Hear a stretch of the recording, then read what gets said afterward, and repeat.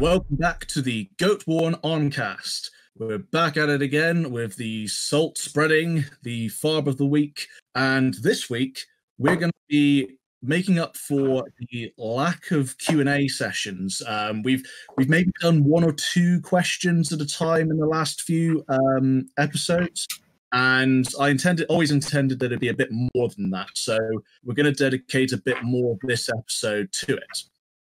So joining me for that, we've got Guthrum of Norvik, uh, we have Just Eastern Things, the Shire Reeve, and a special guest in the form of one of my Patreon supporters, Mr. Toby Dones. Uh, so we're going to be chatting to him in a bit, asking him about I don't know, really, really awfully personal questions if we can help it. Um, let's make him feel like a little awkward on screen and uh, see how that goes. If you are listening to this particular episode, stay to the end. There may be, may or may not be something a little special. So, just Eastern, um, we before we started recording, we heard the release of a gas canister. Um, could you tell us a little bit about why that happened? Yeah, I'm stupid.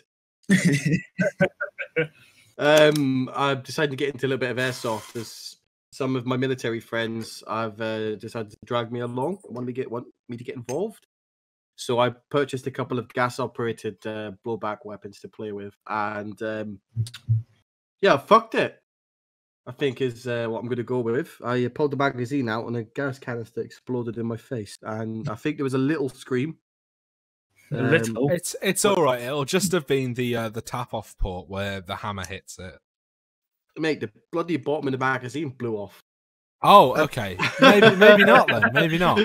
Um, you done fucked that up. Yeah, no, that yeah. is yeah, that's concerning. Uh, to be fair, at least magazines aren't too expensive. Yeah, yeah, yeah. I can't, I can't complain. The weapons are second hand, and I need to do a little bit of cleaning on them. As a person that had them before, um, I can only describe him as disgusting. So I'm going to, um, I'm going to need to give them a bit of a corona clean. Let's hope he never listens to this, eh? I hope he does. Otherwise, he will never learn. Mm. Uh, don't be disgusting, or just Eastern will call you out. do, do, were we rolling when uh, that happened? By the way, because I would rather love um, in our. I actually, kind of... I actually think we were. Cool. Oh. Was it? Was it after? Was it after I did the audio leveling? It was. Yeah, we were definitely rolling. Cool. um, along with um, my Ono, uh, Guthrum of Norvik's great. Uh, I think that would be an excellent little um little soundbite. Yeah. Yeah, of uh, Jeff Easton screaming like a girl. Flashback. Uh, whenever you want to start, Goatworn. Ah! End of flashback. uh, then you, then you need to send me all the um, all the sound bites, and I will try and code us a uh, soundboard. That'd be quite fun. Oh dear. Well, um, yeah, yeah, that'd be cool. That'd be very funny. Um, w- without us descending too much into ripping on each other, uh, I think we should introduce our guest this week, uh, Mr. Toby Dones, uh, who I believe is a member of Regia, uh, which is your group, uh, Shire Reeve.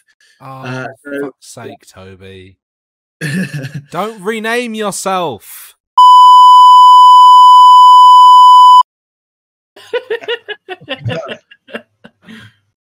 you ruined it.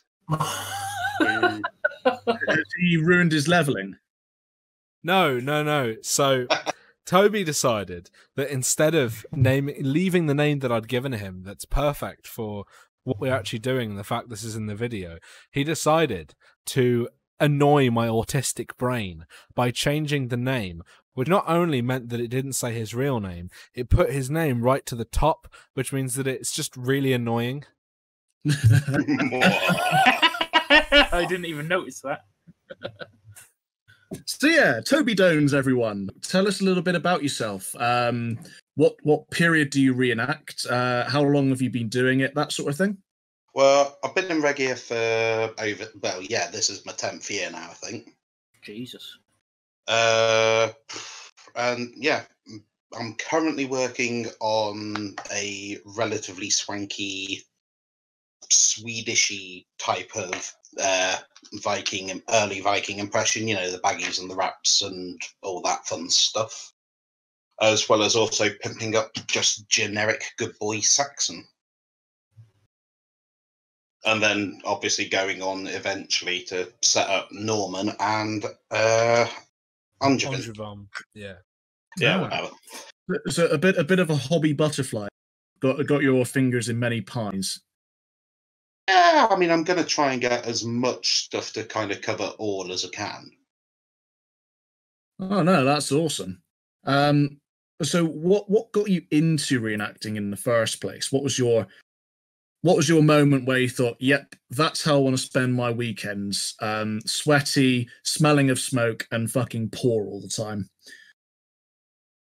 God, it's a bit of a fucking story. So, I kind of loved the idea of combat from Bernard Cornwell's Warlord trilogy, the um, Arthurian one, and uh, was at the time on one of the old internet forums for a zombie webcomic, and uh, someone who was at the time a member of Regia, I'm not sure if he still is now, posted a picture of himself up in one of the post a picture of you threads and I just got chatting with him. He directed us to Regia, and I got in touch with what was my local group at the time, and was kind of bitten pretty quickly. Hang on, Toby. This doesn't sound right. I thought you said you joined Regia to honor your ancestors. And we all if I was honour joining something to honour ancestors. my ancestors, I'd be doing something Spanish. So you you you'd be a Sopranos cosplayer. yeah. So yeah, oh, shit. Um, well, you, you did say Italian. Oh god, No. yeah, that's uh, that's massive story involving uh, my granddad years ago, uh, Uh, like pre-internet family history, uh, working out and stuff. Ah, sweet. Yeah, a couple of members of my group have um, just done some genealogy, uh, seeing what percentage, you know, mongrel they end up. Um, Elite Viking ancestor. surprisingly little Scandinavian, lots of Irish. Um, so that led to a few sharp references, as you might imagine. Bastard. So Bastard. out, outside of the enactment, that's it. That's the rest of the uh, the podcast now. It's just various impressions of Sean Bean's bastard. Are we doing ba- bastard? Bastard, Bastard. posting. Now that's soldiering. Right. Back at the top. So Toby, um, outside of reenactment, um, what what other things interest you? You you mentioned you're a Bernard Cornwell fan, uh, so that, that kind of goes hand in hand with reenactment. I think. Uh, Oh so yeah, what- what- really on there. yeah. What else kind of grabs your interest? What else do you spend your time doing? Uh, I'm a bit of a Lord of the Rings nerd. Uh, quite like Terry Goodkind's uh, Sword of Truth series as well. Just sticking on books there. Mm, Uh, obviously 40k because for the Emperor. Of course. Nerd. I did. I did put up a post. Um, I think it was towards the end of last year, saying that I had enough, um, you know, likes on my page. You know, enough fans of Goatworn to make my own Space Marine chapter. Um, I think that would be a pretty fucking cool idea. uh, the uh, you know the Salt Knights or something. There would have to be a, an offshoot of the of the Space Wolves, though. Yeah, see that that's that was my like debating point, whether because not everyone who's a fan of the page is a Viking reenactor. Um, so I thought maybe actually being that we're trying to spread the salt across the galaxy, a crusading element of the like the I black can see it. I can see it. Yeah. yeah, like go, go with salt knights. Um, but yeah, that, that was my debating point. Or almost like um, almost like the Iron Hands. We've been, you know, mechanically enhanced to mine the maximum amount of salt. Counterpoint, sticking with the Space Wolves, but Space Wolves who've turned around and gone, no, we want to be accurate to the Vikings. yes. Um, Power armor. The- uh, the- yeah, we, we've gone for a different like author of the series. So we've stepped away from wolf amulets, wolf pelts, and wolf swords and wolf fang fist um, to the more traditional um, view of them, like Rogue Trader era. Yeah, So I now just want to see Space Wolves in baggy power armor trousers. oh my god. power armored flares. I did see someone, um, uh, not not to get too stuck into 40k, but just because I know you guys will appreciate it. There's a chap on Facebook who's been making um, a Toy Story themed force. Um, so he's got a, one of those flying Primaris as Buzz, uh, the Gene Stealer cowboy gunslinger as Woody, um, a Knarloc, Greater Knarloc as Rex, and one of the new um, Orc vehicle, you know, those um, buggies, uh, RC. I He's- he's believe that's um, Uh, how do you say cursed? Done- Uh, to be fair, I've seen the Buzz Light. I th- well, I think I've seen the Buzz Lightyear one. I and really it looks to see that. fucking dope. I really want to see that. That sounds. To be I'll- fair, the way the way the model is done is it the interceptor. Um, Yeah. it does Yeah, kind of look them. Buzz Lightyear-ish, right? Hmm. But yeah, I'll, I'll link that across to you, Guthrum, because that's uh, yeah. If you if that you're interested in that, it's he's done a bloody good job of the paintwork as well. Um, so not to rub my own cock too much, but being that this is my platform, uh, Toby, when did you first hear about Goat Worn armbands, and what is your favorite comic? Bloody hell, to when? I think it was. uh Yeah, I think it was right at the start of you actually kicking off properly. I think you only had like maybe four, maybe five comics out at the time. Hmm. It was like the first one that properly went viral. Yeah, I, th- I think that it was probably one of my Norman bashing ones that went um, viral because up until a certain point, like the first year or so, it was largely um, it, it was directed at friends and my old group. It was you know very much an in joke, and then as as you do, you get more friends in different groups, and they pass it on and they share it, and suddenly you've got nearly three thousand likes already. Um, but yeah, so you, so you've been a fan from the early then. Um, I'd say so, yeah. yeah, cool. Um, it's not nice to have someone who's put up with me for that long. um, as long as you keep tickling my funny bone. Oh yes, don't worry. Um, all the innuendo. So yeah, which, Oh, yes. what would you say is your favorite? Um, or if you don't have a particular an individual favorite, what's your favorite type of comic? Um, whi- which are the ones that tickle you the most? That tickle his pickle. Yeah, that's Mm, tickle. Honestly, it's hard to put a fucking pin on because it's mainly the ones that I can relate to the most. Hmm. Like the generic fucking hell, everyone's been there type ones. Li- Like the uh, authentic shoes going on your arse on Ah, grass. that one for a fact. Oh, for that sure, was good. Yeah, I think The my thing is, favorite, me my and most Toby favorite shared recently. that experience as well. Uh, Hastings, yeah, fucking hell. Just trying to walk down the hill to Walking the up to the- traders. yeah, up and the it, hill it to was like watching two fucking drunks. There's, uh, there was I, a guy. I I remember, remember, my that. first Hastings 2016, quite new into reenactment. I'll never forget this poor Italian man must have fallen down for about an hour before anybody realised he was drunk. And you know, just off the statue, if you go down through the forest, yeah, we were coming down that part from the camp. I'm, and I'm talking, I was, I was incredibly drunk. yeah. The the bit the bit that comes down from the paved area up towards the actual abbey, right? On Yeah. the, the far left, if you're looking at the abbey. Yeah, I think the fella was um, relieving himself at one point and had slipped. Oh Shit. no! And uh, yeah, nobody heard him obviously because he was down there. Fuck. I was like, oh mate, oh, but tho- that is deadly. Those both sides of that bloody place is deadly. oh yeah. Yeah, oh yeah. Well, I What- mean, you what- saw how it was closed off last year. Yeah. Yeah. Well, I I haven't No, um, our our guy went down on that one. Um, and that's that's why I did the post uh, saying thank you to uh, the nurse, uh, the, or a nurse in training, I think she was, but she was a member of a Norman group, and she came up and uh, she was like the first on the scene and stayed with him throughout until the ambulance turned up and sorted Oh, him. that's that's really nice, actually. Um, I think Oh, that's a good always when stuff example like of of the wholesomeness in the reenactment community. Sometimes. Yeah, it was it was certainly appreciated by us because um, you know we not all of us are trained first aiders, so there's only so much we can do. Yeah, practice, exactly. uh, and you know, and we've got other members to look after and sort out, and, you And know, she didn't have to do it. yeah, just just out of the goodness of you know her heart. Um, yeah, you know, massive props to her, and uh, I I think we we did find out who it was in the end, and we sent um sent our thanks.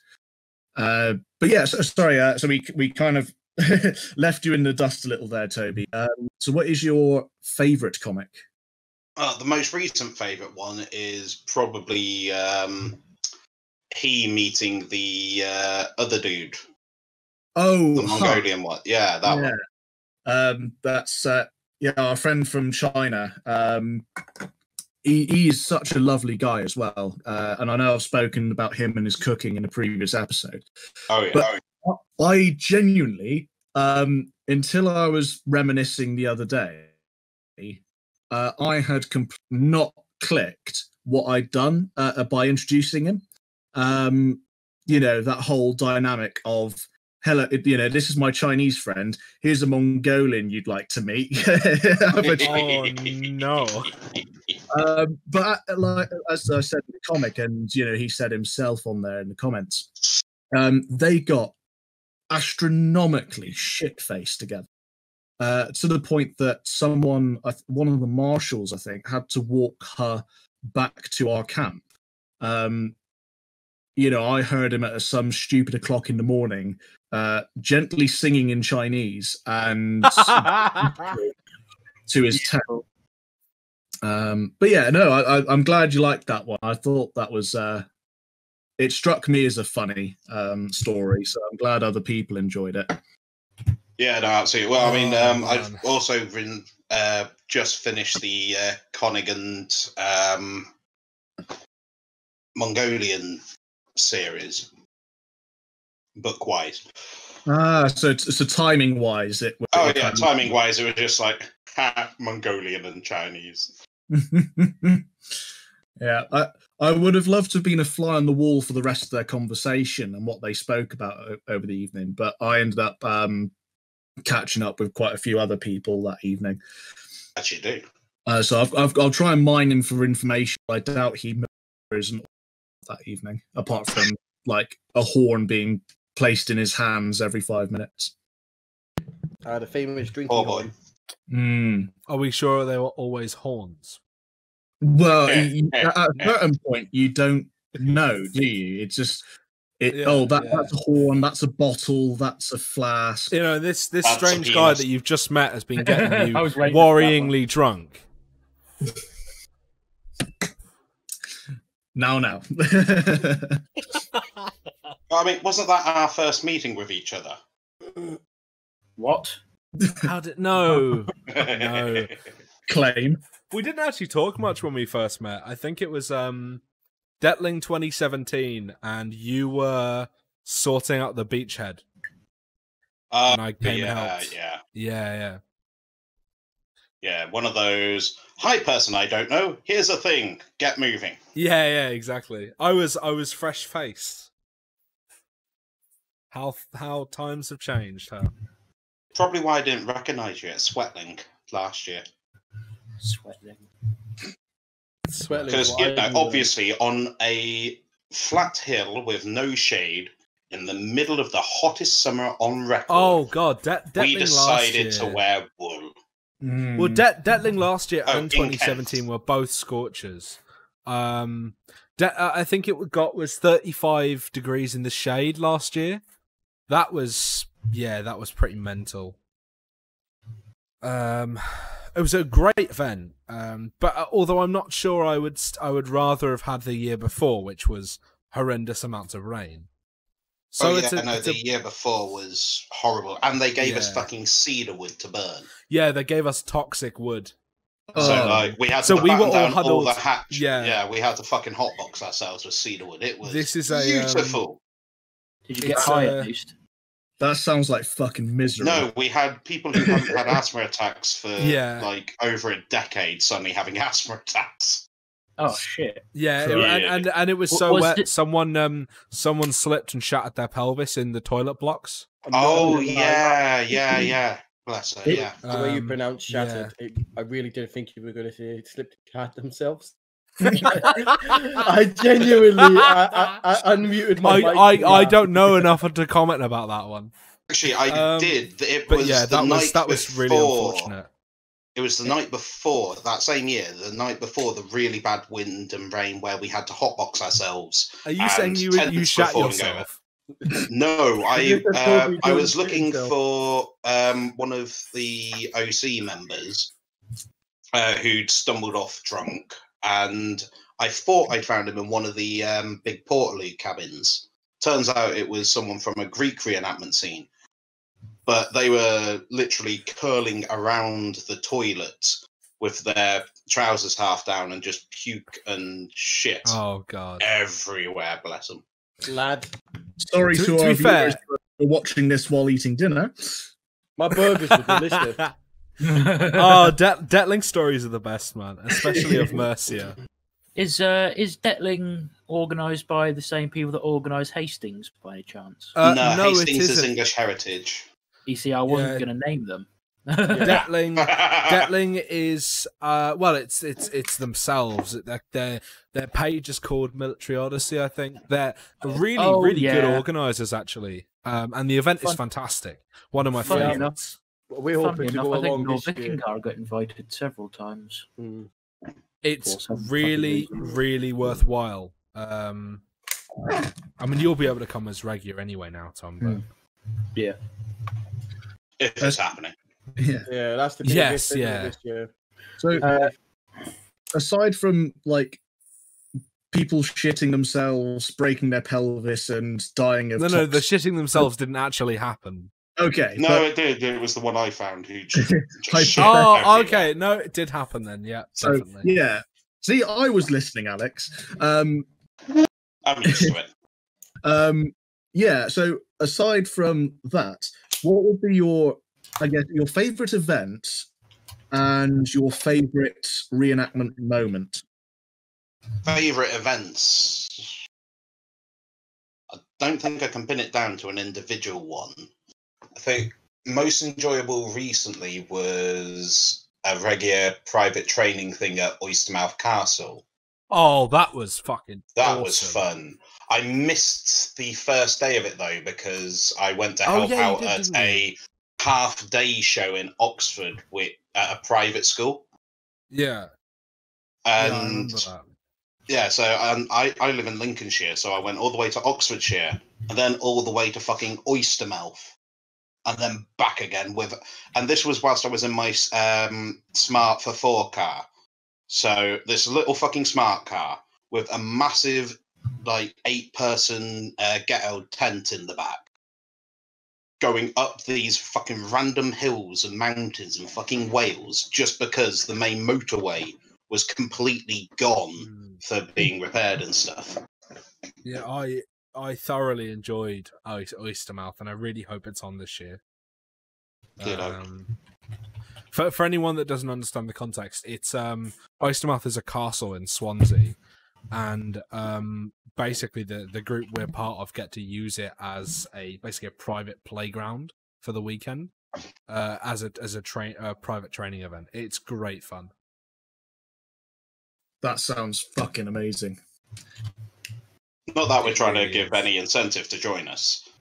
Oh, actually, no. The other one would be uh, Wickhurst at War as well last year. I never I never made that, unfortunately. Ah, it was Um, so good, and we had like some, uh, you know, like you know how some of the regular lasses are incredible singers. Yeah. Oh, That actually, in- actually, you know what? Uh, what about um, Twelfth Night? Ah, Twelfth Night was brilliant fun. They're they're they're like nothing else. Absolutely, like the the decoration in the long hall was just absolutely fantastic. I wasn't there this year, unfortunately, which was a real bummer. Were, were you saying, Toby, that um, you know you got some uh, decent singers in your group? Were, were the acoustics in that location really good for them? Oh, absolutely, yeah. I mean, it is a it is a wooden long hall, so the Oh. acoustics just reverb beautifully on it. Because we did um, our Yule feast uh, last year at the Ancient Tech Centre in Dorset. Oh, I've Uh. Yeah, you've shown me um, pictures of that. Yeah, That's bloody lovely, and we we've got some. Uh, all, all the blokes seem to have really shit voices. You know, we, we can do all the bawdy um, pub sea songs. shanties and pubs. Yeah, we, we can do yeah. that, no problem. Um, but the women in our group absolutely put us to shame uh, because they've got absolutely beautiful singing voices, and especially in a uh, a roundhouse um, with a kind of almost a uh, an amphitheater set into the earth. Uh, you, you know, you, you do walk down into it as you go through the uh, the door. Um, to hear them do that is oh, that was just magical. So yeah, I can imagine it being spectacular in a long hall. There's nothing Ah, quite like it, there? was. I will, I will forward you the pictures from the 12th night events that we've had. Um, it's, I mean, this was uh, Wickhurst, I think, uh, the Wickhurst War event that Toby was specifically on about, but the the ambience in general of that hall is just phenomenal. Well, Hmm. I mean, it's our own private, like it's owned by the society, so it's our own private pa- uh, patch of land. Which you know, we've got the long hall, we've got a forge building, it's got a massive palisade, and the neighbours right next door is um, The- what is the the Kent na- Wild nature, nature sanctuary, basically. Yeah, a nature sanctuary. Yeah, Um, uh, with wolves in it, so occasionally you just hear the wolves howling as well in the middle of the night. That's why I'm Uh, super excited. Um, the Hraf and Varengi uh, group based in Birmingham, they're one of our kind of Eastern Red Wing groups in the UK. I don't know, you guys might have seen it, but they're uh, they're building uh, buildings now, uh, kind of quote unquote authentically. I'm looking forward to that being used in this scene. The Yeah, more of it, the more mean, buildings and the more stuff we have in the UK, the better the whole the whole country goes, in my opinion. Oh, absolutely! It adds a whole other level to the I, I, games and I stuff. never understood, um, and that's one thing. Like I always thought Regia had better than the Vike. You know, and I, I say I swear I don't mean to call the Vike out in every single show, but they do it to themselves. But why? You know, I, I would be happy not getting expenses for a year if they said, okay, look, with everything we make for the next couple of years, we're going to buy some land for, for the for the society. But instead, they don't. I, I I can't picture why they don't invest it into the society more. Yeah, I, I think this. The thing I'd say is I don't know. al- Although I think that the Vike have done about as much film work as we have, so I, they they presumably have enough money to do it. I think they're more focused on. Um, I mean, I, I I'm happy to be corrected if I'm wrong, but I think they more focus on putting it back into the uh, society members itself. Which isn't to say that the money spent on Wickhurst by Regia doesn't benefit the society because it fucking. Hmm. It's just different choices. Yeah. Yeah. Yeah, No, I've seen the pictures from it, and you know, if I hadn't been in the Vike and I was looking at Regia and the Vike, and you know, if somebody said, "Well, actually, this one's got, you know, a fucking longhouse uh, compound," and got a long hall. They've got thi- this one's got some expenses you can have at Hastings if you can make it through the mud.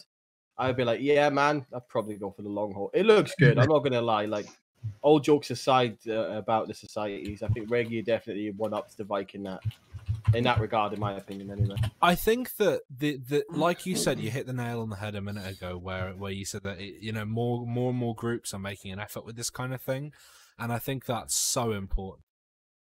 But And uh, you know, it's really nice to see it. so just just to lead on from that um obviously you know i think that's it's fair that they you know they're both benefiting their members with you know the funds and it's it's interesting to see the comparison between the two um you know you compare it to other groups you've got obviously regia offering land and a location to do training. You've got the Vike who reimburse their members, and you know, considering the tra- distance you travel, um, that's really that- good that can make a reimbursement. difference. That can make a real difference. Yeah. Uh, and then you've got the Free Warbands of England.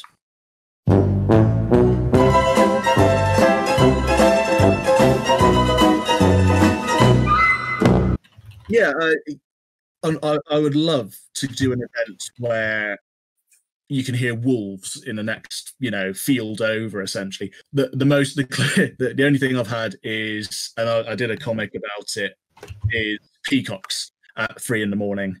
Uh, That's fucking hilarious. it's just no, shut the fuck up. I remember seeing a comic from you, feathery bastards. Yeah. Uh, if you ever come into South Wales, near me, there's a place called Harold Stones. Coincidentally, have nothing to do with Harold. They're about 2,000 years older than him. Um, it's a little village, but it's got an old Norman uh, kind of hill fort remnant there. Oh yeah. and there's just this random ass peacock that lives in everybody's house. And there's a, like I remember because when we got in, uh, you know, we walked over to the Norman thing, and just just this massive sign before you enter the field saying, "If you see the peacock, just leave him alone. Just don't even look at him." At my university, the halls I lived first year, um, after, well, so they they always had loads of seagulls and shit that would rip all the the rubbish out the bins and fling it around. Um, but but like the end of the period of which I was in the halls, uh, onwards, there have been three or four peacocks that have just lived there. Um, on the the uh the hall's site, and they they're just there. And it's so strange. I don't understand why. No one seems to understand why. It's just the case now. Maybe the government surveillance. It's not the seagulls. peacock. Oh yes, yeah. Big brain. Well, no, because everyone expects the pigeons, nobody, nobody. Exactly. Do you reckon each individual, um, in parentheses, eyes on their feathers when they fan the uh, the They are cameras. They are eyes- cameras. Yeah, yeah. Yeah, they are one definitely. So yes, uh, consp- stay tuned for more conspiracy theories with Goatworn Armband. Um, so, um, Toby, uh, you might you're welcome to join us in on this bit. Uh, we're going to do a bit of a Q and A. Oh, Uh, yeah. I put up a post, and Guthrum of Norvik did the same on his uh, his page, and Very questionable answers. Should Yeah, we that- just go down the list? yeah, I think that's going to be the easiest thing. Uh, so first up, uh, we have Mr. Ted Jones, uh, who I believe makes some excellent scabbards. Um, hope- Understatement. if yeah, if if I say enough nice things about his scabbards, maybe he'll make me one. Um, Yeah. he asked, please answer the question I've asked myself for about 40 years. Why the hell do we dress up in itchy clothes, get pissed, or, or get pissed wet through, and scorched to a crisp in the same weekend and blind ourselves with wood smoke? Apparently, this is fun. Yes, it is fun. Yeah, Um, I was going to say it. It's, y- for all the inconveniences and all the bits that we'll bitch about to our mates and between ourselves about, you know, getting wood smoke, uh, getting wet, getting cold, getting itchy. The, some of the memories that you build in reenactment, um, regardless of what group you're in, what what events you do, it are some of the best memories that you can make. You know, um, there's Oh, nothing quite like, you know, being in camp all day, um, you know, living, more, you know, roughly, you know, to a degree like um, people of your period would, fighting, you know, it's a nice way to let off steam. And then all being able to go off the field, shake hands, and go, right, I'll see you in the pub later. Um, just the brilliant. friendship and brotherhood you make from it all. I don't Mm. care Yeah. what anybody anybody says, but you know, I think we've all had hobbies and we've all got hobbies outside of doing Vike stuff, you know. But there's nothing quite like I say Vike as a as a generic term, but Yeah, there's, there's nothing nothing quite like and like exactly like you said when I left the field in 2016 after Hastings. Um, it's my first big battle. I can't I can't even tell you the feelings I had, and I you know it's it's amazing being on the field, seeing potentially what somebody else could have seen all those years ago.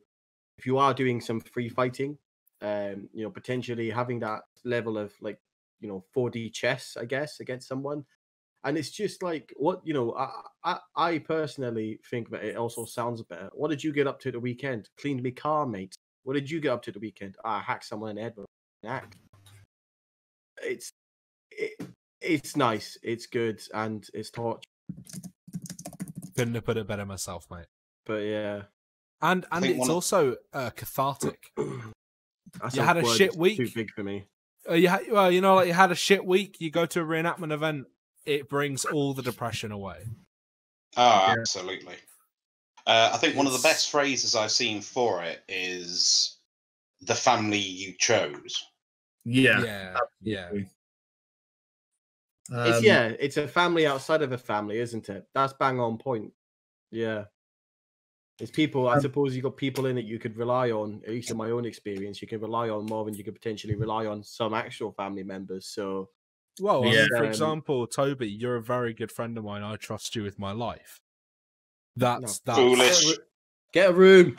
No, no, no, no. Just as an example, because it was Sim. like, like the fuck, bro. Would you, why you do me like this? No, like, there there are people. Um, Toby's one of them in Regia that I would trust with my life because they are that good as friends. that it's just Biggest unparalleled.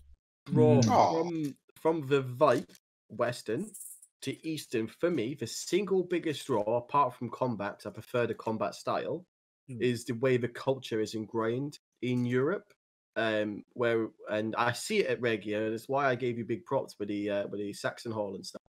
It's that I know we all joke about her dirty ancestors, but in reality, actually seeing it done properly to an extent out there is fucking phenomenal. The Mm, yeah. ceremony before the battle at Wolin, there's a I do, if you go online and look, there's a bloody drum and it takes five people to bang it, and it's huge, it's Oh. massive, and you got these guys banging the drum, and you we, you know you, you got all of the different banners out, and you know maybe a hundred different banners, and there's girls singing. We've got an we've got an anthem for our Slavic side, so the girls are singing the singing that, and the men do the chorus, and yeah, I, I just think brings all these different people from different backgrounds and gives us something to do that we actually enjoy.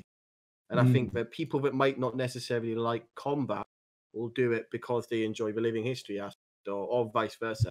And some people don't like it either way, but they go for the social aspect. And I think it's that it's that thing to bring people in it. It's like an adult community. I think people join for the fighting or the history, but they stay for the people. yeah. Yeah. Yeah. So that that drum must be a hell of a size, you know. I'll see if I can find a picture of it, mate. You can see it on the uh, on the YouTube videos. But it takes five people to bang it. Yes, What- mate. Yeah, it's, it's huge. It's a static drum, and it- Like your um, so yeah. Let me see if I can get it up. I That's have got a picture drum. almost. Oh god, I've just predicted Alex's next meme. did, did, did I cut out when I dropped the the mum joke? Yes. I didn't Yeah. hear it, so yeah. But I- let me set it up again. It's Alright, uh, if- oh crap! If you go to 052 and look just in front of the ambulance, it's quite difficult to see, actually. But you can see there's four or five people. Yeah, Eastern. Should we ambulances. continue with the next question before we get? Yeah, into I, I want to get I want to get my answer in first. I want to get my answer in. Okay. I do reenactment for the enlightening questions asked by the public. Is that a, is Ah, that a real baby? you s- Are you gonna eat that? That's Yes, you've I'm going to eat the Are eat baby. it? is that a real fire? Stick your yeah, touch it, mate. find See what happens. I think my favourite one of the public ones has been whilst I was in the middle of eating my lunch, so visibly shoveling the food mm. into my mouth. No, they're not really eating it.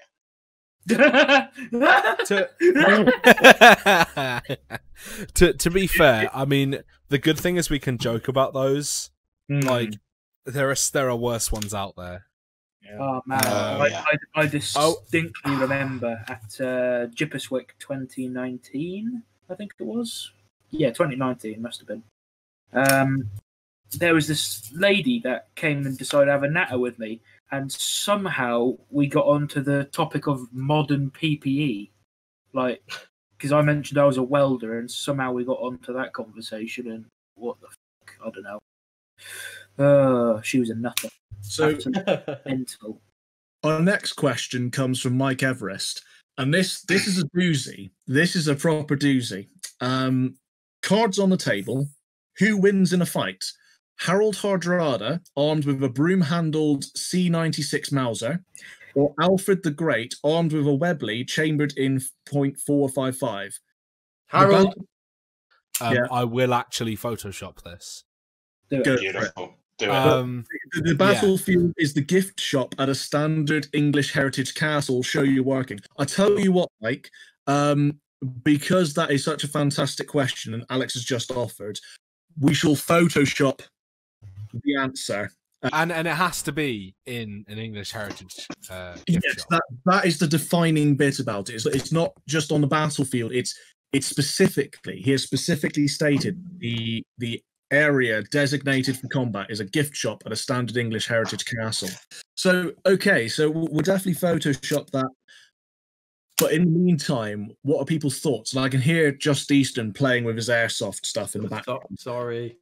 like a Is sharp fidget fidget spinner. It's like, come on. Well, I'm, I'm sat I'm debating. I'm trying to figure out if you know if I, if I was Harold's size, could I aim this pistol faster or not? I think Harold would win because that broom Harold's uh, Mauser is a formidable weapon. I think the the thing for me um, that would swing it for Hardrada is He I mean, is a, he is a not- not- career warrior. he is. And there- Alfred there's was not- weak. Well, there's that. Um, too busy shitting himself. yeah, not in so many words, but Alfred was known for having health issues, and that could swing it if he was having a bit of an off day. You know, if he was if he was feeling a bit queasy down below, that might tremble his hand as he went for the trigger. Also, it doesn't stipulate here that either of them know how to use a gun. I was They- just thinking that. Yeah. Can He's going to end up. For a fist fight. Uh, we, well, I would I would assume we were going with the logic that they they you know in this this version of Mike's reality that he's created that they do know how to use a gun. Hmm. I think it'd be infinitely more amusing if they didn't know. I, I Well, think but well, Didn't i- know if what a they gun was. if they didn't, the broom handled Mauser, the the case it comes in that doubles up as the stock would make an excellent club. Hmm. Oh, you could definitely bludgeon someone with that. Mm, I'm just mm. I'm just imagining Harold Hardrada running after a sickly man, yelling obscenities in Old Norse, beating him with a gun. Yeah, I think I think I that would swing it for me. I think that all things being equal, um, unless Alfred was lucky enough to get off the shot first and scored a fatal wound, But which is not the- always a the guarantee. question is maybe Alfred is wise enough to work out how the how the weapon works, and Hardrada is is not wise enough. So Well, he Har- uses it like a I club. I think they're both fairly smart. Hmm. This Yeah. is true. This is true. Harold was no, uh, yeah, Harold was no brute. Oh no. yeah. I um yeah, I, I think like as much as I'd actually like to say, you know, Alfred the Great in that circumstance, I definitely definitely think Hardrada's got the over. If you Hardrada would count chat him out in that in that Yeah. scenario. Yeah, in the one to one, definitely Hardrada. Um, like from my understanding, at least, Alfred's definitely more right. I'm going to move these guys here, these guys here, and fuck that guy up.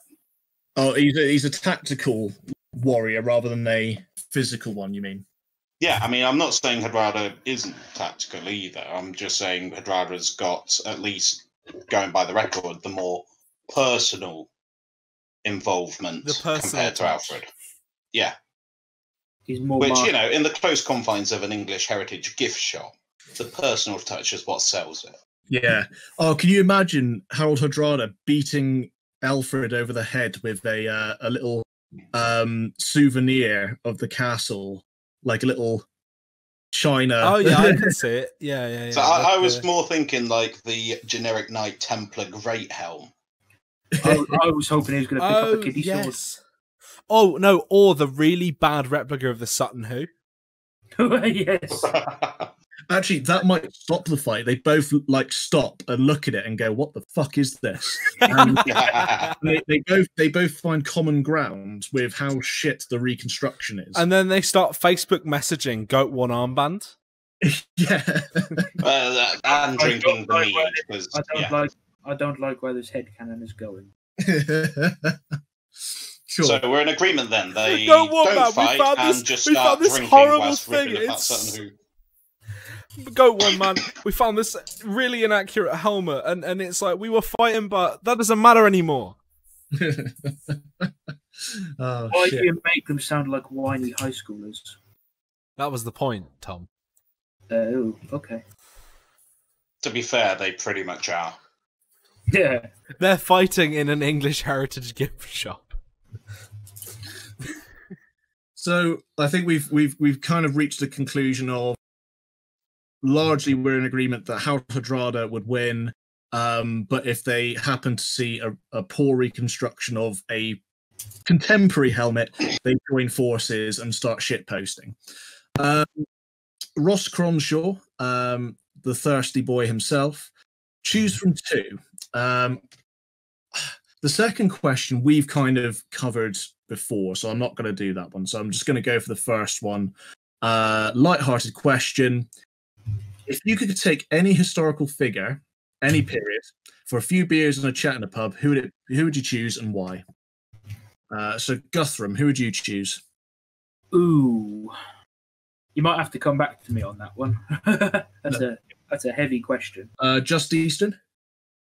I was thinking about this earlier on when I seen it, and c- there's, there's many, many people that I would like to have a drink with. But if they spoke, if we could speak together, I genuinely would like to speak to Alexander the Great and be like, Yeah. Hmm. why exactly did you Why do what you did? Why Alexander, why? Yeah, no, but but Alex, why it was it was it was always more, wasn't it? And I, I'd like to speak. You know, he's considered the greatest strategist of you know all time, but he was dumb as fuck as well. So And, and he Why was though? incredibly vain. yeah, man, bit of vainness. You mean the guy who named nearly every bloody I think it city was after himself? 109 named after Yeah, him. no, that doesn't of. strike me as vanity at all. Sarcasm. Um, I, I, yeah, Yeah. def- I think like today, flavor of the month, Alexander for me, but that could change tomorrow. Fair enough. Uh, Shire Reeve. So, if I had the choice of anyone, I, I mean, there are like like uh, Just Easton said, there are a lot of people that I could um, ask questions to, but the one that springs to mind is Hans Talhofer. Um, Hans Talhofer is a is a German um, uh, judicial combat master. Basically, he he teaches. Uh, uh, he, he taught a lot of different um, fighting styles, and he made a couple of manuscripts that were basically advertisements for his teaching that are used for HEMA today, but they're actually quite limited because they are basically just advertisements. Um, and the thing is, Hans Talhofer, um, the reason he didn't write down loads of like details on his techniques like Fiore did is because um, he hated the poor, and um, I I would. He he was a very self-centered man, and he hated the poor, and I would just. I'd love to understand just where he's coming from with that, but um yeah he's he's such a strange character and in these these fighting manuscripts that he made um all the people in them because he would demonstrate the techniques to the illuminator who would then draw them he was every character in it. So like most of the pictures are of him fighting himself. That's brilliant. it's it's so strange See, Yeah. I wouldn't be surprised if there was lost ones that were ones that he kept himself. That were literally this is how you get from point A to point B. But you have to pay for my classes to yeah, find it's it's it's possible. Um, it's possible. Join my OnlyFans to. oh no! It was literally like that. It was like it was like you you would only learn what he knew by paying him effectively. Uh, Hmm. but we can glean some information from his original treatises. So, what about you, Toby? Which figure would you uh, have a have a bevy with? I would probably say Sir Christopher Lee. He's dead, therefore he's historical. Good choice. Yes, he, he, did. he, He, he's he amazing, was- isn't he? He was um ex special forces as well, wasn't he? Yeah. Exactly, and a Nazi hunter, and just Oh, what was the um? What was the quote? Something like it was one of the oh, directors. um, Peter was trying Jackson. yeah, um, it was. Uh, yeah, uh, you told in me this Return actually, of the King. didn't you? Yeah. Yeah, it was Return of the King. Peter Jackson was like, "No, no, no, no! If you're being stabbed in the back, you're like, ha!" You know, like the very traditional how you see it in most movies. And Christopher Lee just turns round in the most deadpan face and says, "I know what a man being stabbed in the back sounds like." Yeah, he, he then goes on to demonstrate that you almost make a gasping noise because all the air has been driven out of your lungs.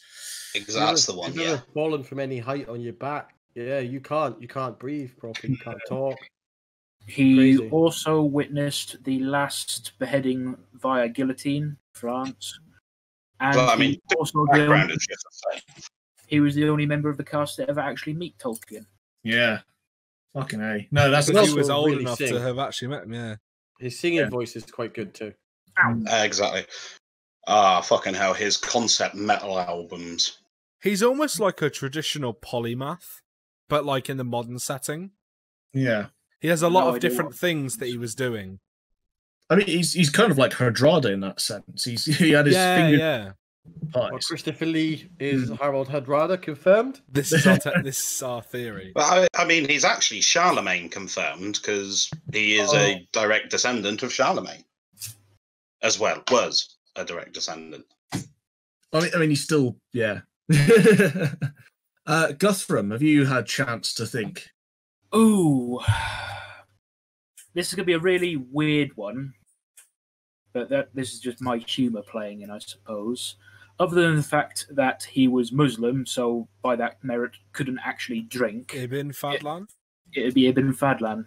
Yeah. Because I want to know What he actually. what the fuck he was on about. Yeah.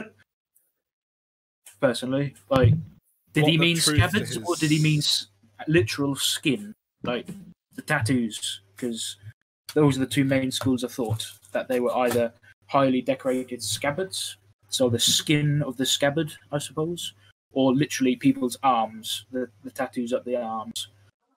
That's two main two main schools of thought to my knowledge, but also all the other stuff he uh, he goes on about. A lot of it, I just want to know. I By stuff him you mean um, bollocks. yeah, basically, I, I want to. Uh, I would want to speak to him in a candid way. Okay, which one of these did you make up just uh, uh, to um, entertain people, and which ones did you actually see? Ah. Well, you have just touched on a really good point about using him as a uh, as a primary source, um, which is he was Muslim, looking at a completely different culture Hmm. and writing about it for and his different the, culture. the stories he told, you can't tell because the the simple simplicity of it is that he was trying to produce this theatrical impression. It's like the Shakespearean version of the Viking Age. Exactly. You can think of it And- like that. I mean, it's it's As as as Yeah. Toby mentioned, he describes the uh, the vulgar Rus he met up with as the most disgusting creatures on God's earth. But to be fair, compared to the culture he came from, yeah, everyone is fucking filthy. Yeah, like he comes from a culture where you wash several times a day. Yeah. And he's talking to a culture where, by the rest of their um, society, shall we say, they're considered very over cleanly because they wash once a week. Yeah, no, that's that's a really int- some good choices, guys. Um, for me, I'd probably step away from the historical. Um, the one I've got in mind at the moment is uh, David Bowie, um, just because he's I'm a fan of his music. Uh, he's a very interesting person to chat to, and part of the question is who'd you like to go for a drink with? I think I'd have an awfully good time having a drink with David Bowie. Um, Oh yeah. So- you know um, the story that he's because uh, one of the big things about him, and I, I've, I keep meeting people who still don't know this, that he supposedly has or had two, uh, you know, both his eyes were different colors. What? It's not true. Uh, one Really? eye uh, has the the pupil is permanently dilated um, because he, to cut a long story short, he told his mate's missus, the, the, who his mate was stepping out with, that he, he had stood her up, and then Bowie took her out instead and ended up sleeping with her. So his mate found out about it and punched him so hard, um, Oh, he damaged his eye, and then it became permanently dilated. Oh fuck! Yeah, it's so That's, he's- the, that's what you get for being a top shagger. exactly. So yeah, I think I'd have a fun time with Bowie. Oh, definitely. Um, next question. Ben Harvey, uh, Barcy asks, can you confirm or deny that Finris was seen leaving your house at the height of lockdown despite showing coronavirus symptoms? Um, yes, but he did have very good reasons for doing so. You see, he wanted to test his eyesight by driving to mine to see if he could then drive to York and then prance around in la- leather lamella safely. But obviously, he couldn't do that if he couldn't see to drive, so he had to test his eyesight first. Mm, mm. While wearing a full helmet as well. While wearing a full helmet, of course. Yeah. Um, uh, Benjamin Ragnar Boshoff. Uh, why reenacting the Viking Age? Um, oddly, odd grammar there, but we won't, we won't dwell on that. He's German, it's fine. Ah, that. Oh, okay. Um, for my money, it's the aesthetics of it, um, the disproving of you know dispelling of myths is a big part of it. You know, you know what we think we know versus the the historical fact. It, there- there's quite a disconnect sometimes, and it's it's always fascinating to me to um, bridge that. And uh, in, in a kind of a romantic sense, the Viking Age was probably the last big, you know, the last age of heroes. And I think I may have actually said this on a previous episode. Um, you know, that you had not only great heroes and adventurers on the Viking side, but also in the peoples that they met and who rose against them. You know, Alfred the Great, for an example, you know, pushed all the way back to the bloody fens and then raised an army and reconquered half of England. That takes some fucking big bollocks. Um, you know. So yeah, that I think that kind of big age of heroism is what um inspires me about it. Alfred what the about Mad Lad. Yeah, Alfred Mad Lad. No, I mean I think you're pretty fair there as well with like the whole age of ancient heroism as well. I mean, we can probably thank the Victorians in part for uh, giving us that slightly romanticized view of it. But Yeah. you know, it, it does have echoes to like there, um yeah, well, and you can see echoes of it in some of the great literature we've got. Like um the Rohirrim as one throwaway example from Lord of the Rings, or Conan the Barbarian as well. It all kind of does that in a time ancient and long ago. Oh, don't you What- giving me a boner just thinking about Conan? Oh, Well, the um, I think for me, uh, it. I mean, I'll be honest. The Vi- the Viking Age as a as a period really interests me, but the Vikings themselves weren't really that much of an attraction to me. Uh, most of the reason I did it is actually because of um, my interest in Anglo-Saxon culture, because I grew up in the town of Battle in East Sussex, which I think everyone here is familiar with Hmm. for being the Yeah. site of the Battle of Hastings. And so over the years, I, I I found it really fascinating, and the Vikings kind of they were never at the same level of interest for me. Um, but the whole age, um, like uh, like has been said, um, it really is a an interesting time, and seeing the different cultures meshing and clashing and how they all interacted is just fascinating. I did it to honor my ancestors, Brostratu. Get out! No. I, I, I- I got into it I, simply because my brother and myself had no hobbies What the f- because we were boring fuck. We played video games all day. And Polish decided something lesbian, else. just Eastern things. Yes, you have seen the picture. It's not long after that, actually. I think um, we wanted to take on a hobby, and I was I don't even know what I was looking at at the time, but um, he told me about this group he was going to see. I think I've mentioned it before, and I thought it was a bunch of fucking larpers. So I was like, "Nah, man, yeah, I can't be bothered." It was at a pub, so I was like, "I'll go because I'll sit in the pub and drink, and then you lot can go outside and twiddle your sticks about."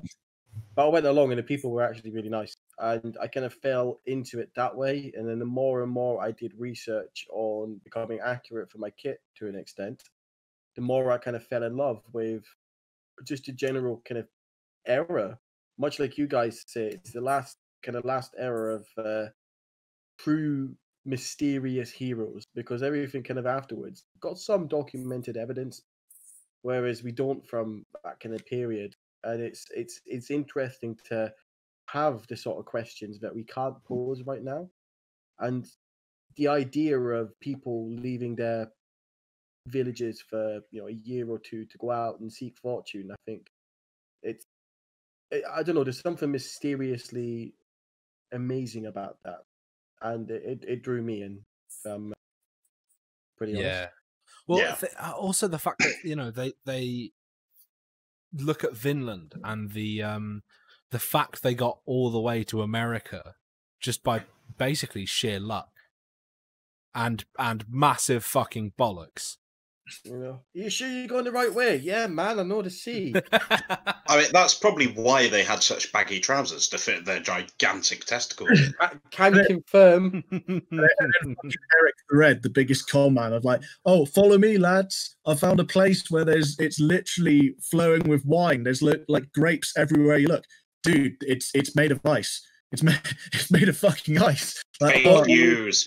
Next one, maybe the next one that my son will find in a few years. Do you remember like peak 2011 YouTube? It's just a prank, bro. Look, there's a camera over there. It's just a prank. Gets blood bloody good. It was just a prank, man. Uh, Um, so Edwin Sebastian Mark asks, why do helmets drawn by the art of Gambargain arouse me? That is a they're question. damn sexy. accurate.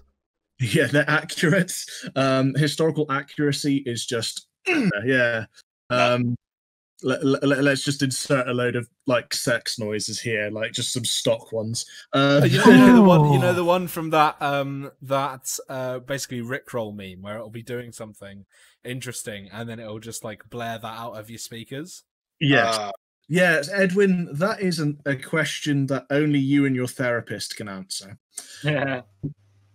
John Phillips, please answer. What time is the battle? Where are the toilets? Who wrote this script? Where is the firewood? Will it rain? Is the kit okay? Two clashes and fights. Um, what time do the mops leave? And how hard do I have to be hit to fall down? So I'm going to give uh, the event organizers amongst you, amongst the audience, a little moment to um, like for the post-traumatic stress disorder to settle down a bit. Um, but yeah, the the answer to that, in the words of my um, a friend of mine who runs uh, Temple Medieval Fair, is wait for commander's meeting. Uh, that that's the first answer you'll get. Then, as you continue to ask these questions, it will just be fuck off, fuck no off. the the trick is um you find someone in a big um yellow tabard that's maybe 30 40 meters away and you tell them to go and ask them see that person in the high vis vest? Yeah, that's who you want to go and talk to. Yeah. Um, Pe- Peaches will tell you uh, if you ask him. This is the single most frustrating part of running an event is people coming up and asking these things, even though the answer is usually the same year on year. Um, and that all the questions will either be answered in the warning orders or the commanders meeting or both. Oh, But the yeah, amount of people who haven't read the People will come up. bloody yeah. Um, as, as on- we left the field, uh, we were getting vehicles off Templecombe last year. Literally, he put uh, put over the tannoy um, because of the ground conditions, and to make this as smooth as possible, can vehicles leave by this exit and not this one? Um, for, for such and such reasons, thank you, uh, over and out, and closed it. And I'm not kidding. I was sat in living history watching. Not no sooner had he clicked the off on his tannoy uh, link than someone came up and asked him about the exact fucking thing he had just said. Oh my god. I I can understand why he moved to fucking Germany. Insert Picard facepalm. yeah. Oh, Uh, that's yeah. That's horrendous. so as I said, I apologise to um, any event organisers in who happen to listen to this because as soon as they start hearing what time is the battle, where it's it's just fucking Vietnam noises. Um, Holger Brontolf Alsmeyer, I think, is the way to pronounce that. Uh, Have a look. if, if edible lamellars were a thing, what would yours be made out of? Beef Sriracha jerky. beef jerky. Hey, Nice. I see Yeah. you're a man of culture as well. I honestly, without, I, I saw this question earlier, and instantly my thought was Cowley's um, jerky. oh, Cowley's edible makes lamina. good. I'm an edible mailman. Yeah, but gummy rings don't count. Mailman. Is- is that the same Mailman just Is worked that the perfectly. same there. like how they make edible underwear? yeah.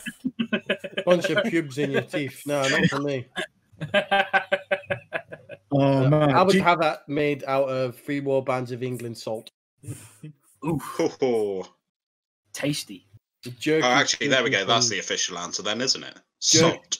jerky made Salt. from shit reenactors. yeah, definitely The Cowley's Flash. Um, my my brittle pony would be the uh, the the one of Oh, that one is nice. Sorry, just the name of that. Uh, It- honestly, actually- They actually got a lot of shit off vegans for that. Oh, Yeah, it's they can fucking go- hilarious. Oh That's how I heard of Cowley's, actually. on honestly going after a small business like Cowley's, um, who offer quite a wide variety of vegan alternatives, um, is you know that is very much shitting on your doorstep with regards to uh, protesting. Honestly, Oh, um, absolutely. I mean, his. I'm, I'm not a fan of vegan stuff. I can't deny, but holy crap, his is good. yeah, like you know, you, you, to pick on such a small business um, who are making the effort, even though it may, you know, that's that can sometimes not be a cost-effective thing for such a small business to venture into. Yeah, that that was just a shit show, honestly. but Um, yeah, I, I that's why I'm quite happy to plug his name here because uh, that his his stuff is damn good quality. Absolutely. And he's, you know, to be fair, him and his lady are very nice people. Like, if I spot them at an event, even if I'm not going to buy anything, I'll still drop in to just have a wee chat with them. Yeah, You know what? I think I might There are a lot of order nice in with them traders now. Like that. Right. The- I fancy some of their jerky. I'm going to put we it do in. the next question? yep. Before we move away from Coley, I've got one idea. If he's listening, make Lamellar plate shaped jerky. No, please Yes. Oh yeah. No, because somebody will buy it and wear it and say it's authentic. don't. They made the head, Yeah, the head jerky. they would oh. have done it. Only people as short. Only as people as short as you, just Eastern. That's just Um, harsh. You can't make fun of other people's height like that, Tom. Not big and it's not clever. You've let your me down, you've let your skull down, and you've let yourself down. Uh, Nick, Uh, Nikki Edwards, moving swiftly on, asks, "What's the biggest animal you could knack in a fight, armed or unarmed?" Um, varies. that's a good question. I I reckon I could take a particularly big dog, um, but I ha- my, my uncle owns a uh, something called a cane corso, which is an Italian breed of mastiff. Um, and his his previous one got to 13 and I was very glad that it was like Scooby Doo friendly. Like it was just ridiculous. But he has a new one, um, a younger uh, bitch that is not quite as big as his previous, but she's very wary with strangers. And ah, that, that you you get that it's in that moment where you see a dog that maybe weighs 11 to 12 stone that it do, it's sizing you up and you're you certainly feel like you're going to come out second in that contest.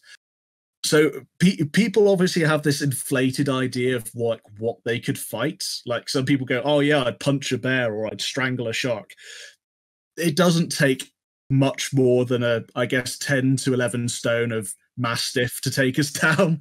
I mean they I were guess- used for exactly that by the romans in the question as well, it says armed or unarmed. I think that actually is a massive factor. Like if I'm armed with a spear, I could possibly take down quite a large animal.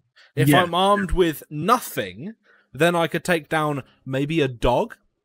If I'm armed with a nuke, I can take down anywhere that isn't Like, Chernobyl. like unarmed, I feel like it would be anything I could throw. yeah, if, if I was a- a- armed with a you know an emplaced machine, um, I, I, I could I could like utterly ruin the um the local ecosystem. But if I Yeah, just man. If I was armed with an exterminatus, uh, planet-destroying um, gun, then I could just destroy any mammal. If I had, if a I was armed with a Huey and a uh, minigun, I could probably take out 30 to 50 feral hogs. What about, what about talking trees? Flashback. See, th- this is like um that whole what's that simulator online? Like how could you? Oh, take in- um, oh, is this? Um, Oh, wait, which one's this? Sorry. like one of the little um, 2D flash games yeah. where Oh. the further you got, the more weapons you got and stuff like that. Oh yeah, yeah. I can't remember You- what it's you know, called like- now. How, how how many weasels could you kick the face off before you were overwhelmed by sheer numbers?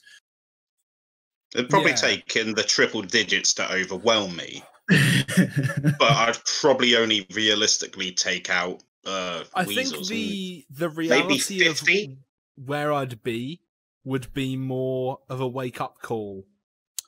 Like, the fuck am I doing here? what, Why am I strangling a snout?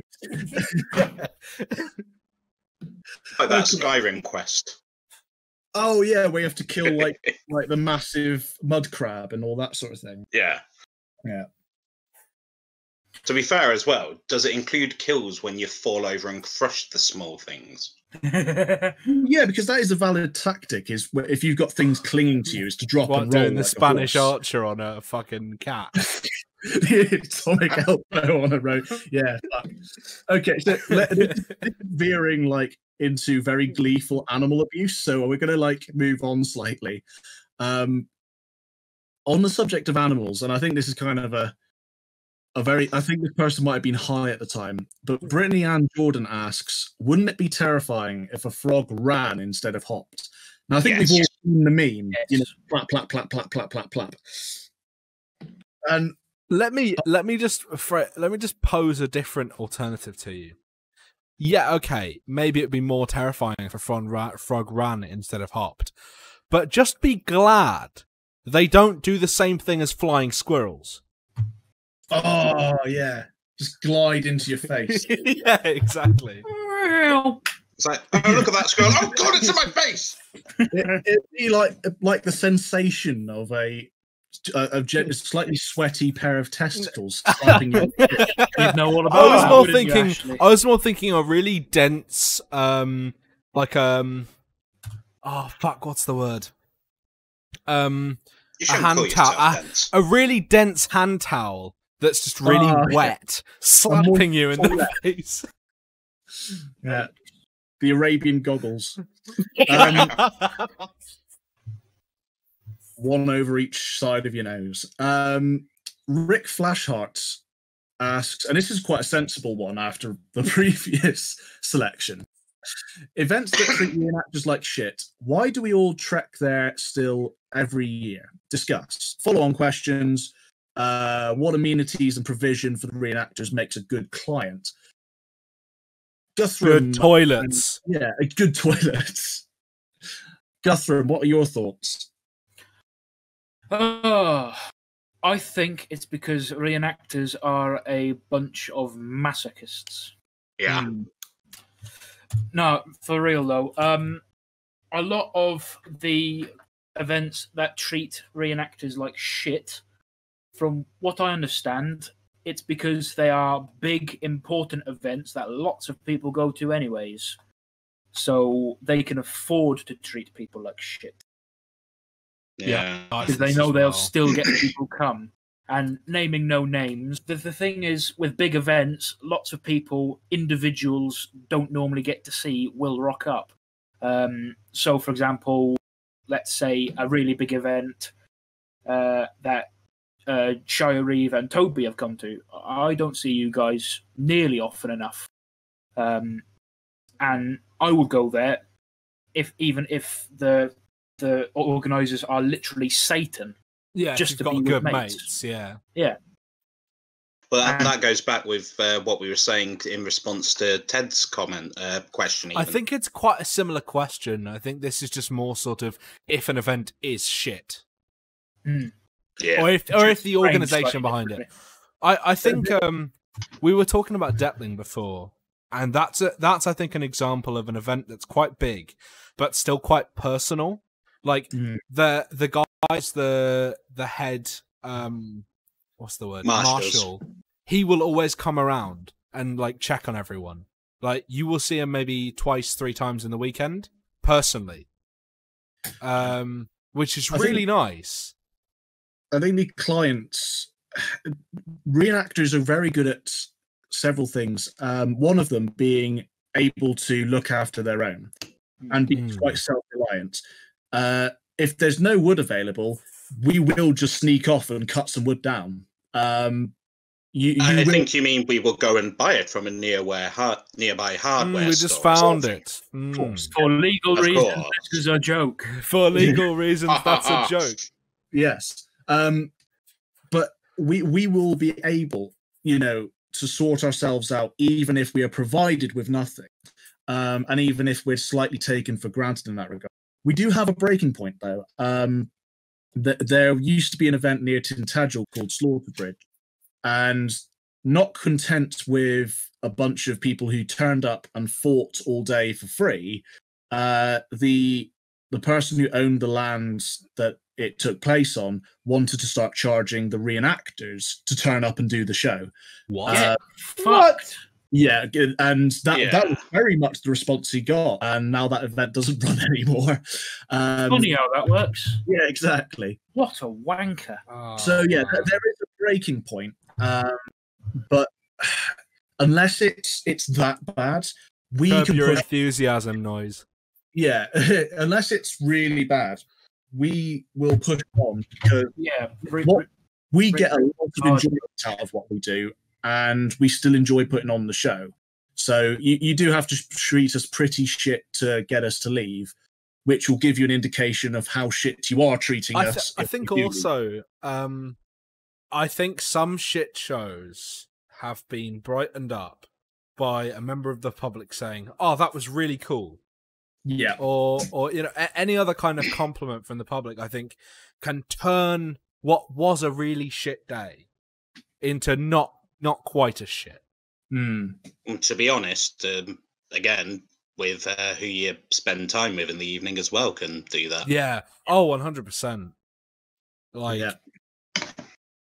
and also I think as well. I mean, this isn't necessarily a, an organizer thing, but let's say, for example, um, the example we we said earlier was um, Detling twenty uh, 2018, the really wet one. In the face of all this horrendous rain, this toxic wood, and, and everything, the the group still banded together. We were all a community. So even if even if you are all going through shit, you're going through shit together. Yeah, you, you can go through exponentially worse shit with be- you know good people. Yeah. Um, Yeah. if if I had to do, I mean, be- and this is just purely on the basis of weather last year. If I had to do Hastings by on my Todd last year, that would have been fucking misery. If if I'd known maybe two or three people in other groups and just still been there, can't- I still can't believe you were only 10 meters or so from me down the line. Like, yeah, but yeah, you, were it- on, you were on the end of our line. mm. Yeah. Yeah, because the second day my group went home, so um, I don't I, blame I them. with Regia. Um, and I did get a comment from the chap at the Lions like, "Oh, ne- never thought I'd die with uh, um, you know someone who wasn't in Regia." And I said, "Well, do, how about would you die side by side with Goatworn Armband?" He said, "I I could do that." Beautiful. Uh, so, That's- but yeah. I mean, actually, last year's Detling is a prime example, though. It's like on the way down to it, uh, my car broke down about uh, apparently 15 minutes away. oh, do you mean Uh, Hastings? my- yeah. What did I you say? said Detling. Shit, I meant Hastings. Yeah, yeah. Anyway, Oh, uh, yeah, that broke down about for you, 15 miles away. I had a ton of crap in the car, as well as taking one of the newer members down. And yeah, but by the time we got there Friday evening, I was actually on the verge of just saying, fuck it. I'm, I'm just going to arrange to go straight home in the morning. And then that evening was like, I still called it an early evening, but the evening really helped bring I back up the both mood. evenings early. Well, yeah, I called both evenings early evenings. I went to sleep. I think both of them about eight nine p.m. Um, but I think it was Friday. No, it was Saturday evening where um, I went out with the one of the groups in Regia that I won't name.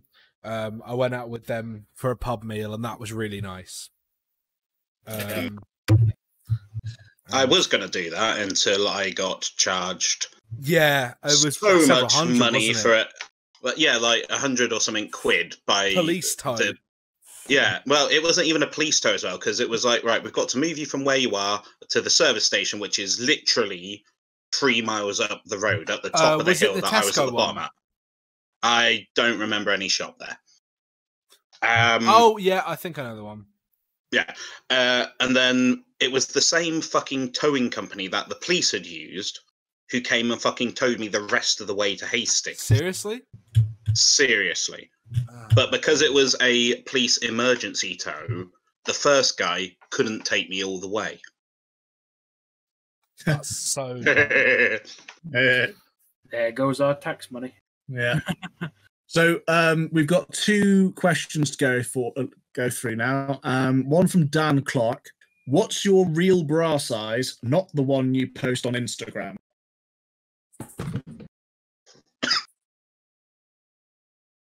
We're all still in training, bros, aren't we?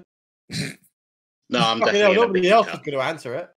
What? What? Sorry. Come on, what? d- Tom. Answer the bra question. Come on. You'll cut out for me. What?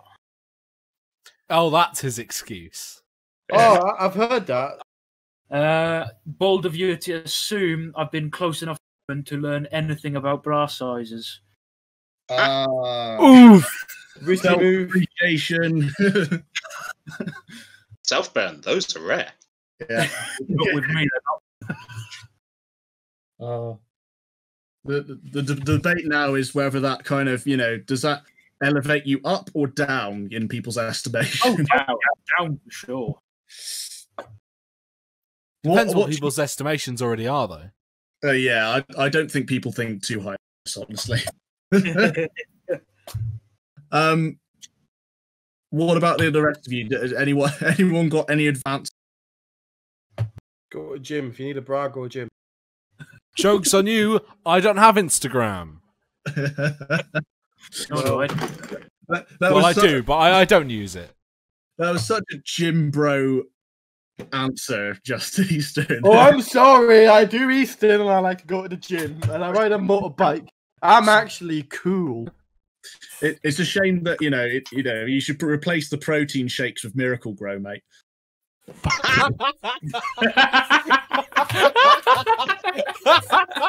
All right, it's official. I want to challenge you to a Hell in a Cell match. Oh, Oh, Oh, what? Hell in the Cell.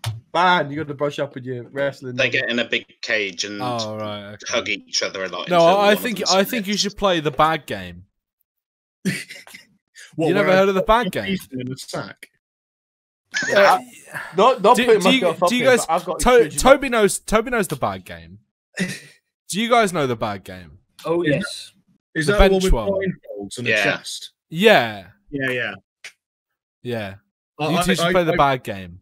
I, That would be um, fucking hilarious. We're super Yeah. close, so no doubt we'll end up sparring at some point. Because I, I, I, our groups, funny enough, have trained. Well, we'll we'll be meeting up after lockdown at some point. Anyway. Yeah. This, Yeah. th- Make this it a pay per view. I, I'm going to step through the door and go, "Hey guys," and he's just going to punch me square in the face. I was gonna say- I was going to say punch me square in the face, but you know, It'd be square in the square in the waist. Yeah. Oi! Well, he could hit you in the face. His, his arm would just be an angle of over forty-five degrees. I can hear Um, other people laughing in the background. Third parties are not accepted to laugh at me. My- Ah, So- oh man, Just Eastern is so gonna murder me in my sleep. it's it, it- that's just going to be the end of like you know we're going to do like a live studio um recording and he's just going to go uh charlie hebdo on us and just I just appear. Like, I've, got, I've, I've gone to the bathroom and I just pop back, but I've got a chair for each and every one of you. so line up. You see, I for one wouldn't mind going through that so long as I had my lip. Like just to say, Listen, just to we say get it. We get it. You're deprived of your kink fantasies. Okay. Fucking hell. no king shaming, boy. But but but Oh no, no king brass shaming. eyes- I'm just saying he's deprived. Brass eyes. I would say we are all comfortable with our sizes. Y- You're comfortable with your titties. Yeah, man. I'd just let it all hang out. hmm. Trying to fit that bearded biker look, isn't it? How big has your belly been since you've been pregnant? Oh, growing in it. so we've got uh, one last question uh, from katie young who asks if the only way to do events was as a member of the free war bands which kind of blade would you take to your own throat What are those knives the Japanese kill themselves with? Whatever that is. What Tantos? Um, to Well, commit it's- noble Well, there's the yeah, there's Yeah. the well, there's the there's the it's either a wakizashi or a tanto that they use to commit seppuku by slicing their belly open, and then you have like if you have a best mate, he cuts your head off, and that's like you know the greatest. It's honor like a best high- can yeah. do, yeah. Oh, I'd, so ra- give me a clean death. I would rather do that than join the free roll bands of England. Hmm. I'd probably do the I would- same, but with a gorgeous, properly done pattern welded sax, just to spite it. Yeah. Even in even in death, he looked better than three roll bands of England. You say that like it's hard. I'd, I'd, I'd do it. I'd do it with a blunt sax because that is still less painful than joining them. Well, just bludgeon your head in. Yes. I think like I'm I might be the only one who's been to a relatively recent event where they were there, and everything we possibly think they do at an event is entirely true. E- oh, Everything wow. from from the shit as Asatru shit to healing Brodin and every everything you can fucking imagine. The paint, biting stuff to make foam come in their mouth. Well, I- I'm There's sure lot. they're well aware of us by now. I would love for us all to just go to one of their events. Can't. And I'm just not allowed to. I speared that guy in the bloody chest and broke his rib. No, no, no, no, not as You reenactors. definitely have to delete that. I mean, as Yeah. as me- I, I, I think we should go as members of the public, uh, incognito. Uh, Goatworn Armband undercover.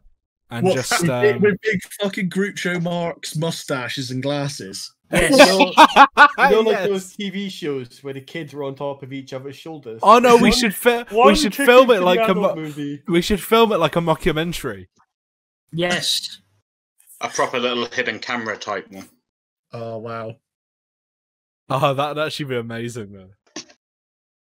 No, um, I, I, Uh, I can't understand why they're getting events. It, it befuddles me, uh, to be truth be told.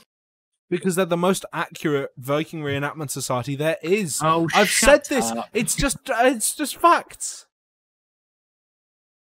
Uh, to be honest, like the events that they do go to, it aren't anything to write home about. Um, I mean, they're the sort of events where there's like three tents and a ring. The idea that Sheringham is a contender for uh against Jorvik is just hilarious. Yeah. Yeah. It's, like, it's the largest Anyway, reenactment thing at this time of year in the east, southeast, or west, or whatever the fuck. Like, Do You they mean even apart from actually- York, which is the same Yeah, yeah, um, on the same fucking Tom. side of the country. Tom, you're from the east, southeast, west, or wherever the fuck now. That's where you're from. Great.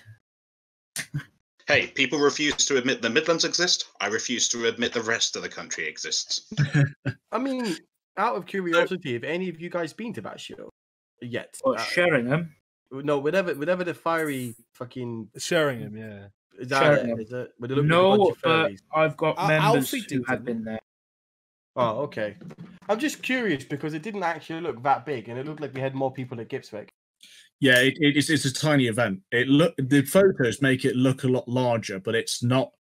It's it's like I say, it's probably the biggest event in their calendar. The for all the free war bands um, members.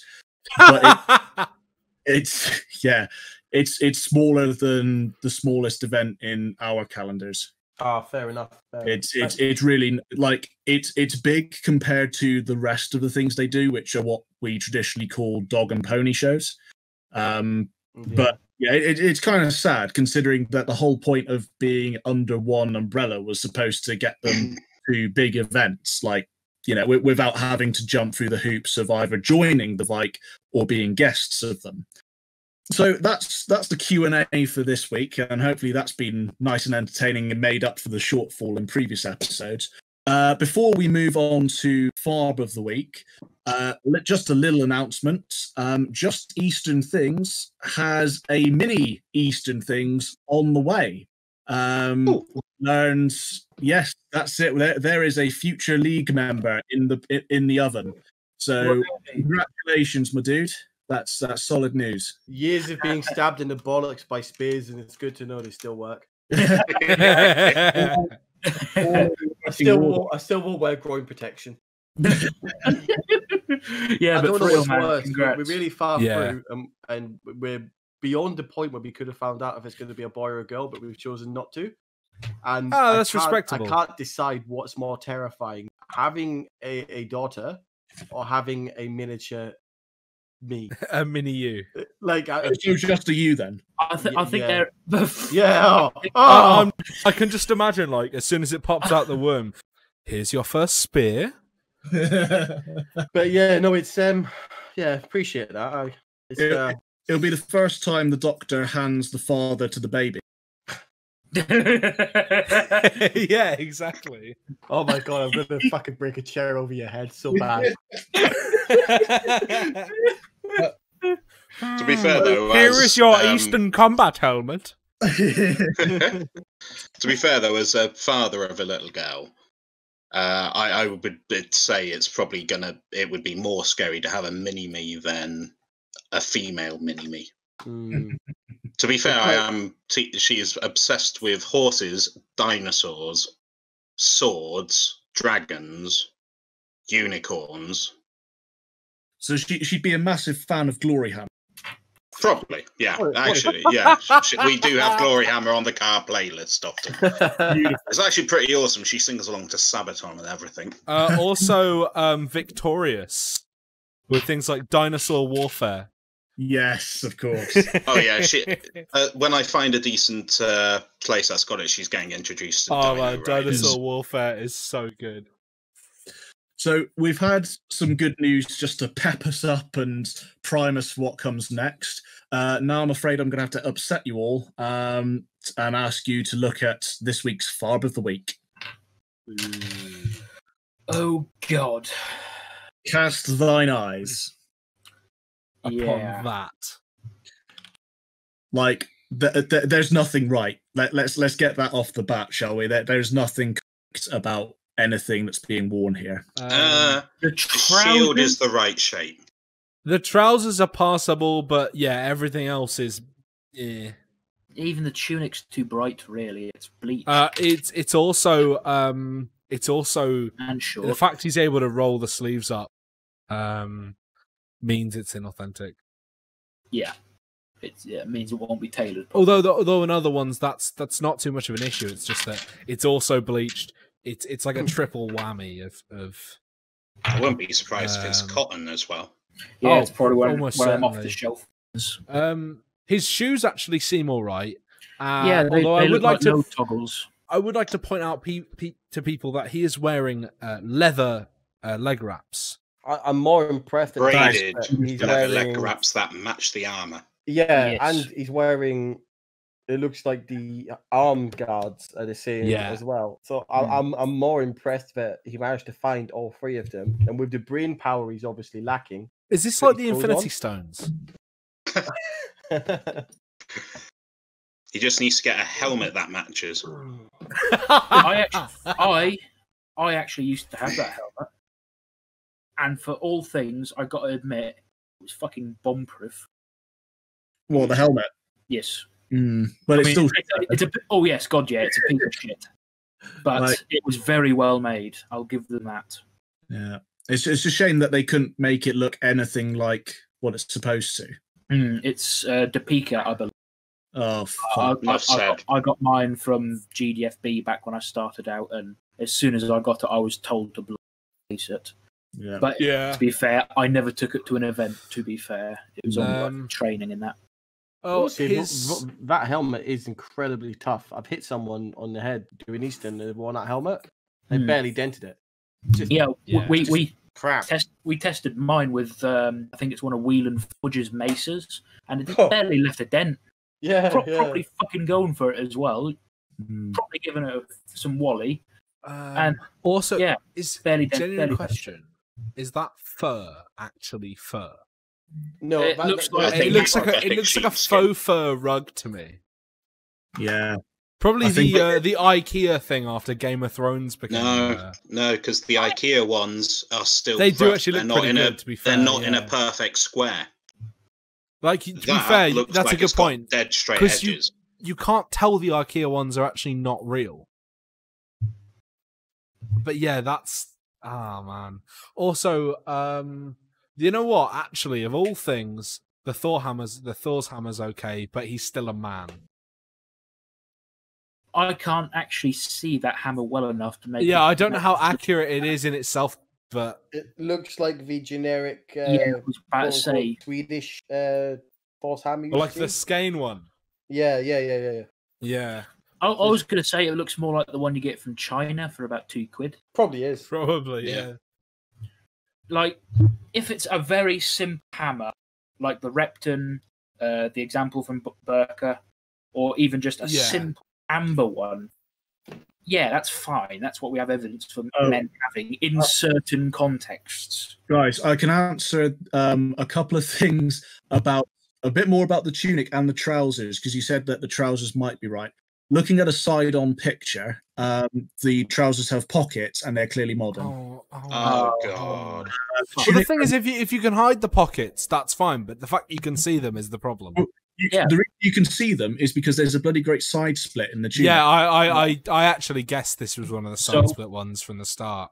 The side split Um, isn't a bad thing. It's very early, isn't it? Evidence of that. Uh, no, no, no. The Viborg example. Oh, fair. split. Yeah, yeah, true. But But that was designed to be tucked in, wasn't it? It is an undergarment that is tucked in. Hmm. So, yeah.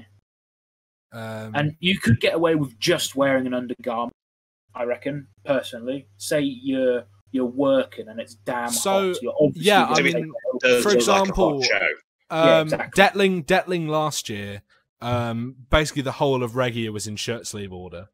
There we go. Um, but So I I think that's in the his. shower. I think that's his general tunic. yeah, he Uh, needs go- going in- going into battle. No, no. Um, that, that axe looks like wank. yeah. Um, What is the that? A bit of plate welded to a tube. Yeah, the shield is missing um rawhide on it, which uh, uh, look, sh- shields go through wear and tear. Fair enough. But you Uh, maintain them.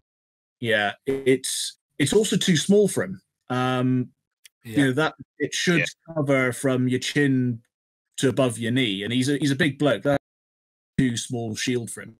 Uh, he has the second axe in a loop on his belt, which is wrong. Oh my god, he does as well. Fuck's sake. Yeah. A very shiny, modern looking belt. That that armor bought ring stock belt. from Oh, but Goat One, he's a berserker. Dirk. Yeah, this this is hideous. This is fucking hideous. Like, y- y- why is the, if, which group would allow this onto a Well, field? we know What what group.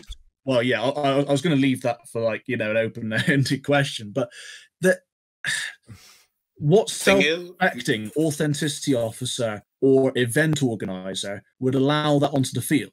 And Free War Bands of England. Oh, but we Yeah. just want to have fun. We're teaching the public about it, and it is what our ancestors. if you're would have teaching the public about it, fucking teach them right. yeah, And Yeah, the whole it's- thing. It's what our probably- ancestors did. Yeah. the- The the- second you start looking at it from a educational point of view, the onus is on you to get it right. The the Yeah. thing with that as well, and we've touched up on it on every single episode we do. What he's wearing probably costs the exact same as it would be to go out and get a half tidy kit.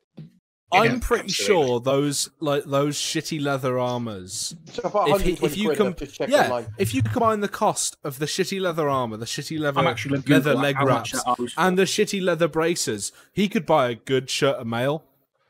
Yeah, probably. And for Maybe the cost of that mail. helmet, he, maybe not. But he, he could have bought a nice soft kit, like we talked about. Like he could have bought a full set of soft kit. And And to be fair as well, sure about the though, that armor. Bear with me. uh, Shari, if you know it because you've seen the work in progress yourself, Yeah, I'm not somebody with a hell of a lot of disposable income, but I am building good kit. And it's simply a case of accepting you're not going to go into your first show in Warlord gear unless Yeah, you've you build it up managed to over fall time. stupidly on your feet. Exactly. Like my sword, which is based off a find, um, that took me. Uh, I c- placed my order, and then it took me a couple of months to actually save up to be able to uh, pay for it. Yeah, it's Christ. how much is it? Uh, including the scabbard from a separate he means the person, it's about. Oh, the level am. Sorry, 81 euro just for the torso. oh my god. Jesus. It's I get, Epic Armories. you can actually- uh, leather, you can- you can leather armor. Definitely get a buttered set of mail for that. Oh, definitely. Would you remember we spoke about my tunic being made last week? Mm, All in yeah. all, with all that stuff, it's worked out to be like 70. Right, Yeah, I've, yeah. I've got some more here for you, lads. I, I, sh- ugh. Well, my, my new bling tunic, granted, I've provided all the material, was 65, I think. But I think it's. Uh, uh, no, sorry. Uh, yeah, 65. But, you know, if, if I hadn't provided the material, a, a nice quality but not as blingy tunic would be about 75, 85. Just not bad at all. And to be honest, there's plenty of simple, easy to follow guides that even a complete novice to uh, pattern making and stuff like that. And there's enough people on all the various social media platforms as well who, if you say, I'm following this pattern and I don't know what I meant to do here, who will turn around and help you. See, I think Yeah. this is It- the problem. Again, it comes back to like, like, You can make people a don't real, seek advice. Yeah, like you could make a really good low status tunic using just some cheap pure uh, cheap pure wool like about three meters worth, find a decent pattern which isn't hard, and you know, yeah, you put a bit of fucking time into it, cutting it and all that lot, but it fits you better than an off the peg one, and it looks better than fucking that. Yeah. Oh my I- god, I've just realised what that shirt might be. Have Yeah. you seen the Facebook ads where Yeah. they've got like the Well, the wish quote ones. linen yeah the quote linen end quote shirts which have got like this like you know the deep v-neck with the lace up uh collar and then the little fucking it is, Rostratu snowflake on it Yeah, it is. Jesus. lads, the braces and the shin guards are also like 30 euro pop. So we're talking about 140 euros just on the leather bits On Yeah. shit leather that has no yes. basis in history. Yeah. Plus you can maybe 60, 70 quid on those axes. butted on it Plus maybe 60, 70 quid on those axes. I know. I've seen axes like I mean, because that's assuming that he brought them brand new as well and didn't get them uh, on a Facebook Marketplace. So much pain. All right. Let's let's rate this fucker. Um, it's thi- this is total shit, isn't it? There- there- There's no redeeming stuff. There's no bits to improve. I you think just this need is actually the worst one we've had so far. It is. We we just need to burn this kit and have this guy start from scratch. It's that bad. To be honest, I would love to set up a GoFundMe for mm-hmm. people who realise, you know what, yeah, my kit is shit, but I don't know where to start. Where we can just go, look, we will buy you nice looking kit. Just stop wearing mm-hmm. that. No. no, I don't think I will.